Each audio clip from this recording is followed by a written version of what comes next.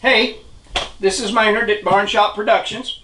Uh, today in uh, Barn Shop Auto and uh, Paint, we're going to uh, do a little maintenance work, which is a part of what uh, my name is. It's actually uh, Barn Shop Auto Paint and Maintenance. Today we're going to replace an accumulator on a 95 Mazda B2300. Now in this particular category of vehicles, it'll also interchange, the very same one will interchange with the Ford Ranger. There are certain models of the Explorer.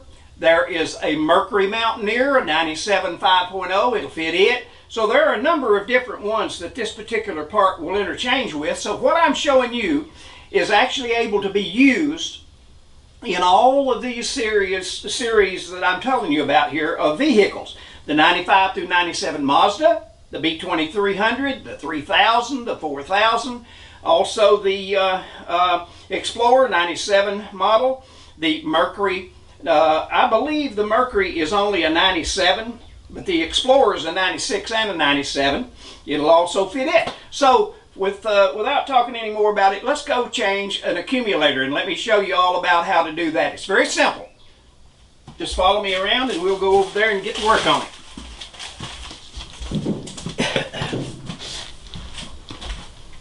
Lights on, please.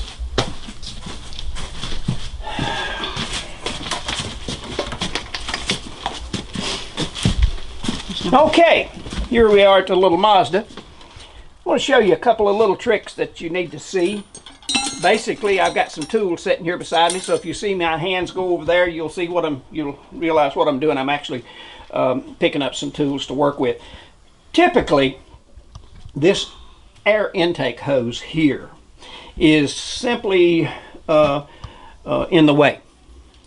Some of them, it's a little further apart, but in order to get in here to these parts here, uh, I'm going to use a pointer, and if you'll follow this and kind of zoom in on some of these parts, I'll show you what I'm doing. This is the air intake. There is a band that locks it to the filter over here. There's a little 5 16ths nut on it.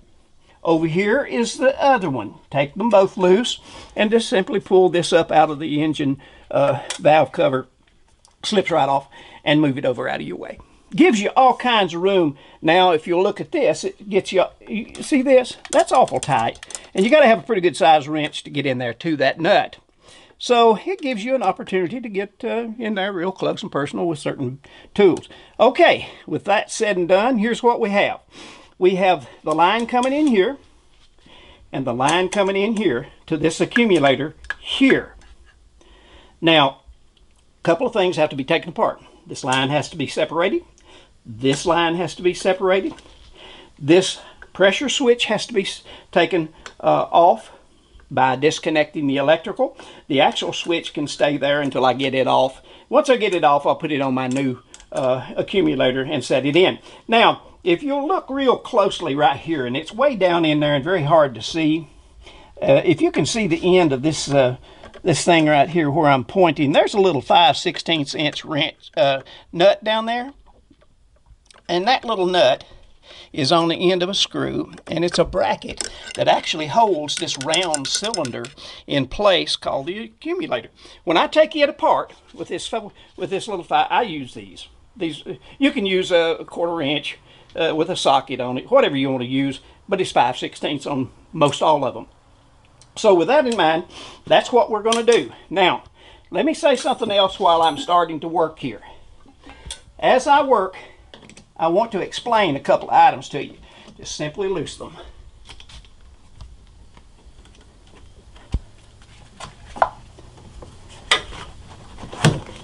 See how simple that is? Very simple. Now they have electrical connections to them, so you can't stretch it too far. You see here, but it's out of my way. Now I've got work room. See that? That gives you plenty of room in there. Next thing I do is this little bracket here that holds these together where there's no way that they can accidentally separate on these hoses here, this uh, pressure line just pops up. All you got to do is just, it just, it pops on, it pops off. Okay, we'll set it aside. Now, we want to separate this. Now, in separating this, just keep your view on that right there for a moment. You'll use a tool And I have an assortment of those uh, little tools to take um, these hoses apart. They come in a pack. You can get them uh, in different styles. This tool right here uh, is for separating the spring that's inside this little housing right here from its connection. And when you separate that from its connection, then those two will separate. Those two pipes will separate right there. Doesn't look like it, but it will. This is the simplest, cheapest, I don't know, five, ten bucks, less than ten bucks. You can get this whole set that goes to all kinds of different sizes. And they're also good for uh, uh, fuel lines as well. So I'm going to show you how to do this. We're going to snap this right on there. See that? Now, as I snap this on there, something you probably should see. If you can see this in the close-up, there, this is a circular. It's just split, so it'll spread apart. This flange right here must go toward this raised piece here so that the back of it, that's just a small little slot there, this can slide in there and release a spring that's around there. So that's how it's done right there. So let me snap it on there again. Slide it up here. A lot of times you can take your fingers, all right, you hear it pop just a little bit. When that happens, it typically separates. All right, with it like that, you may have to go over my arm a little bit. You kind of hold this and you work it. It's tough. And the reason it's tough is right here. You have three O-rings. Now they have to be tied in there. If they're not tied in there, it's going to leak. And if it leaks, you lose your Freon. If you lose your Freon, you lose your air conditioning. So now with this in mind, I'll give you a little bit of a hint here. You don't want to take something as I have seen others do, with this piece on there, like a wrench like this, slide it on there, and take a hammer and go, or another tool or something, and go whacking on that to get this little piece here to go inside there where the spring is. You do, and you tear this thing apart, you're liable to scar this up right in here with your pulling this end out. Because when you do, it won't seal again you'll end up losing this and you'll have to replace this hose here instead of just the accumulator. So now that's that one. Now, let me gather up a tool here, a tool, and you'll see why it was important for me to move this intake air out of the way. Now, I've got a 1 and 1 8 inch uh, opening here that I, and I've kind of broke this loose so it won't be such a struggle for the video. And I have a an adjustable or whatever you want to use that will fit this other side right here. Now, I'm going to get my arms out of the way so you can see this. See those two? Now, they separate simply by spinning them like that. Now, when you break it loose, what happens is this nut will screw back. See how simple that is? Well, guess what you've got when you screw that back? You've got another fitting right there. See that? Can you see how that fitting came apart right there? There you go. Now, I typically will take these apart before I ever take the bracket down here that I showed you loose that holds this cylinder in place simply because it stabilizes this accumulator so I can work with it. If it's sitting there slopping around in that uh, clamp, it's awfully hard to break it loose. So I'm going to stick my little wrench in there, that little uh, 5 16ths down under there it's not important that you see how I get to it. You can see the screw right there. It is very clearly. And I just simply back this off just a little bit. Loosen that. That's the one that holds the whole bracket in place. The other one is this one right here, which actually clamps. I think you're getting in the shadow there with that. Uh, possibly, but can you, if you can see that, there you go. You probably can see the little bolt nut head that I'm actually getting hold of. Sometimes it'll pop out, sometimes it won't. Sometimes you have to uh, a little force on it. Okay, all your lines down here underneath that go through are still intact. The only other thing that you have to do here now is as I use my pointer to show you, you see this, this is a high pressure switch. Basically what happens here is this gauges the pressure as it comes through this system. With this pressure uh, gauge switch, if that pressure goes too low, it discontinues power and the compressor shuts off. To save the life of the compressor. If it's sitting there running and no fluid going through, it's a dry run. So it's going it's just like anything, an engine without oil in it. So basically what's happened, and by the way, the system does have a little tad of oil in it. The other is if it gets too high. Sometimes the pressure will get way too high. When it does, this will save your compressor. Now sometimes it'll go up high because the compressor has gone bad or low because the system has a leak, whatever the case. But now here's what you do, and I'll use my pointer to show you. See this little electrical switch right here? It's on the end of that pressure switch. Just take it off and lay it aside. Simple. Now, unless this thing gets hung on me, I should be able to just work it up and out. Guess what? There's your old accumulator. Now the reason this accumulator is in its position is it does just what it says. It accumulates trash and moisture. If it doesn't accumulate trash and moisture that gets in the system, that trash and moisture can get around and get inside the rest of the working parts and particularly the compressor. And it will kill that compressor in nothing flat. But this is what you have right here. Now, this has a nut on it. I think I have the, the tool out here to turn this. I do. That has a nut and you just simply break it loose. Now this is plastic, so don't be bowing up on it too awfully hard or you'll end up buying another one. And I think they're about, they're less than $30, about 30 or $40 a maximum that. Now I bought a new accumulator. Got a good deal on it. It's a good one. See this right here? The old accumulator. It also has a little O-ring here that helps to seal. Freon system lines. These are a lifesaver. This is what keeps them from leaking. These little O-rings right here. So there you go. Now this has, in the top of it right here, a valve right there. Has a cap on it. This is where you can fill it up with Freon. And basically, they sell at the parts stores bottles of Freon with the appropriate fitting on the end of it. So you just snap it over that. These have little niches in them.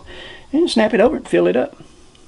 Also, it has in it a little valve. Now this valve is to let Freon out, reduce its position down low, and let Freon in.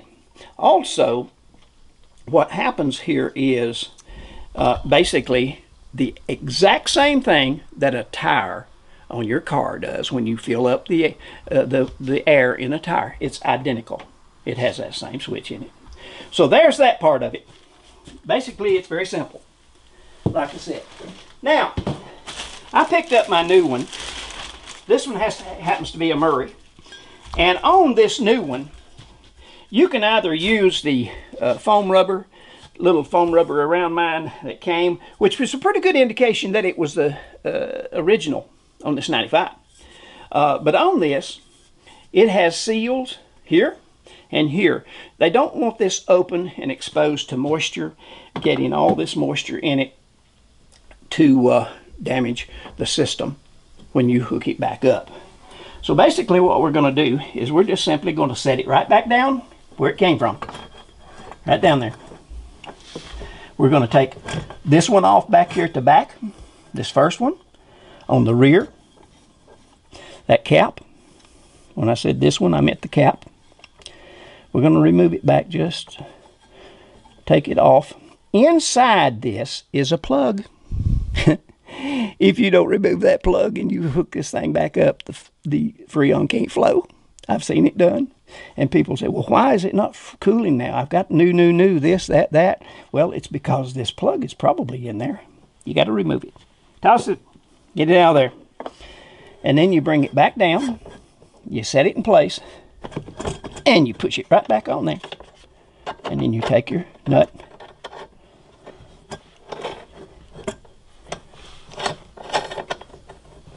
And it is a booger sometimes to get these lined up because sometimes parts don't go back nearly as simple as they came off.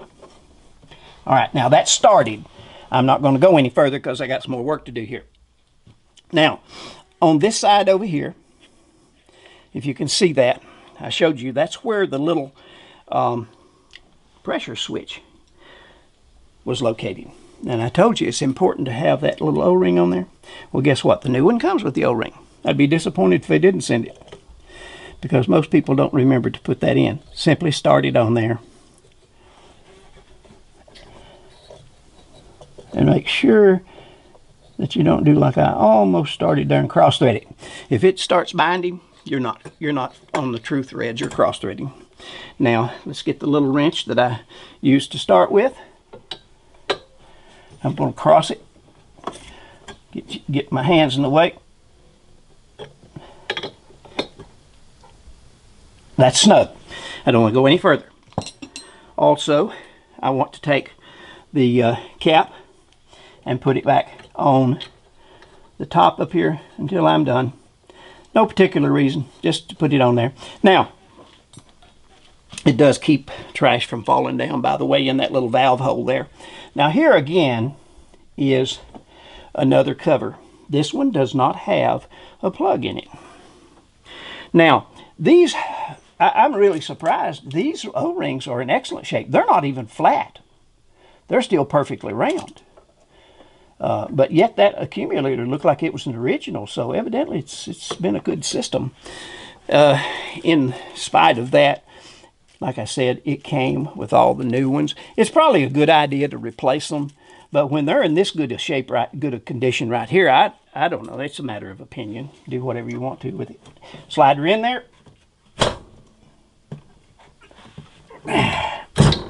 When you do that, guess what? It locks back in position. That spring slides back in that little groove in there, and it locks. Now, again, with my little 5 16 inch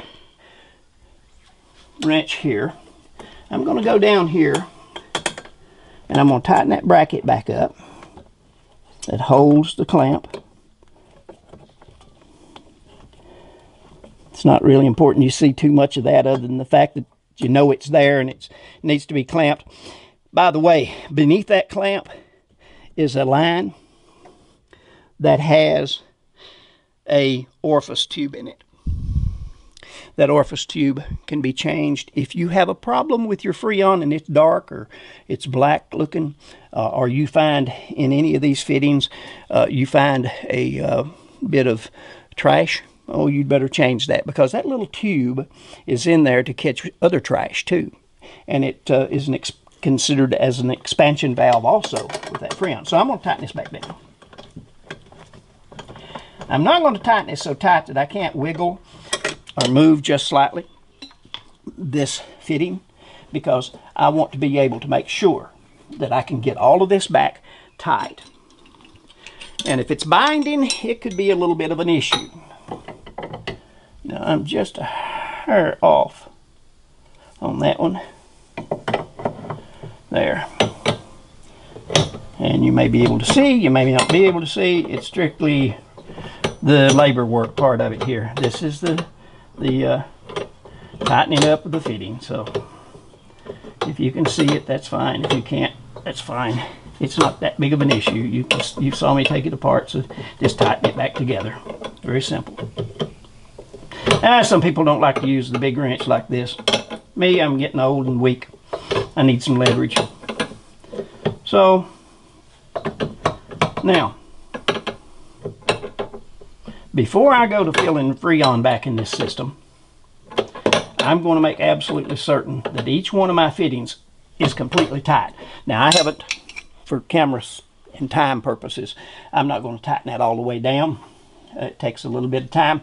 I'm going to go ahead and reassemble the most, the biggest majority of it here.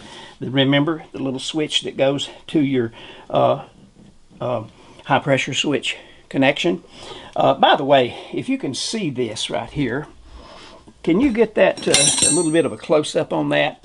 This part in here has a, it has a guide right there. See that? And this is offset a little bit different shape.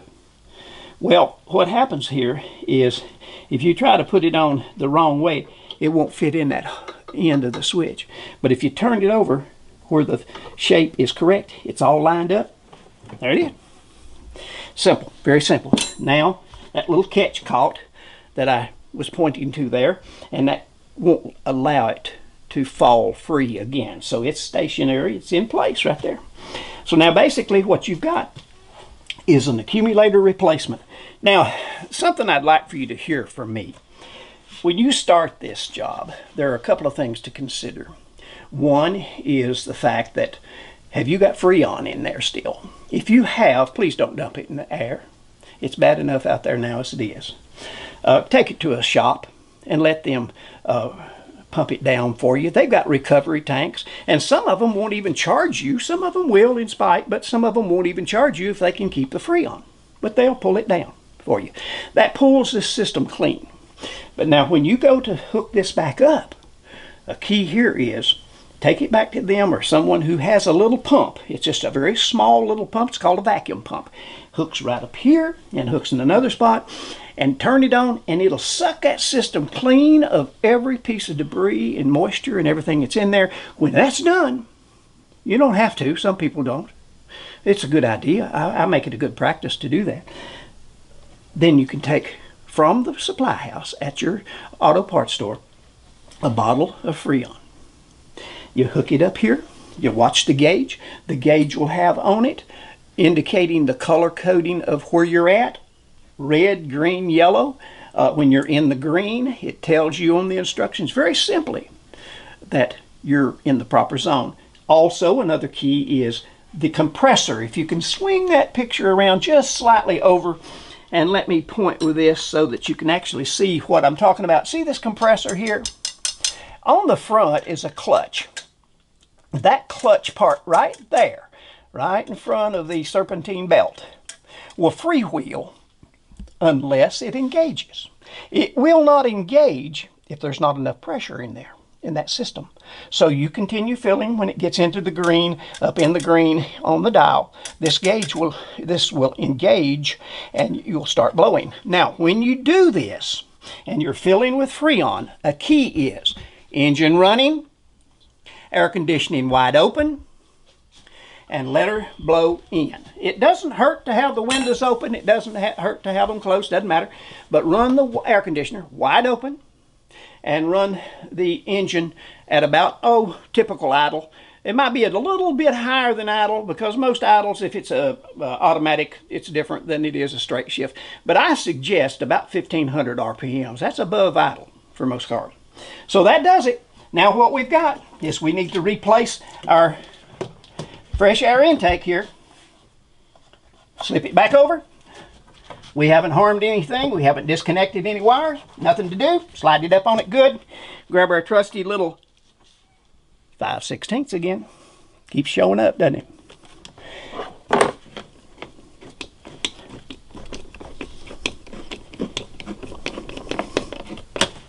Locked. That can't come off when we're driving. I don't know if you can see that or not, but it's the other one over there. Can you see it?